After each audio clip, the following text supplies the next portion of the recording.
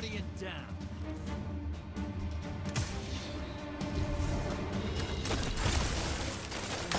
Two for one. Ten seconds left.